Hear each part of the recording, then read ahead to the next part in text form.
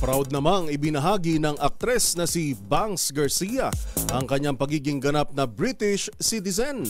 Ito'y matapos ang ilang taong paninirahan sa UK.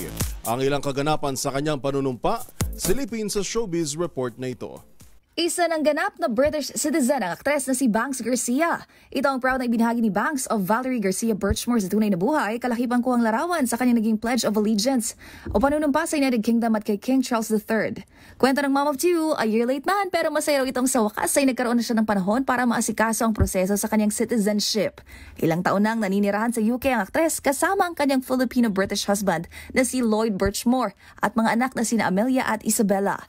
Magunita na tatlong beses ikinasal ang dalawa. Una sa pamamagitan ng isang civil ceremony sa London taong 2016 na sinundan ng church wedding at panghuli noong 2017 sa isla ng Boracay.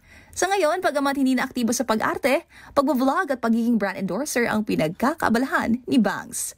Para sa DZRH TV, ito pa ang showbiz angel Angelica Cosme, una sa Pilipinas, una sa Pilipino.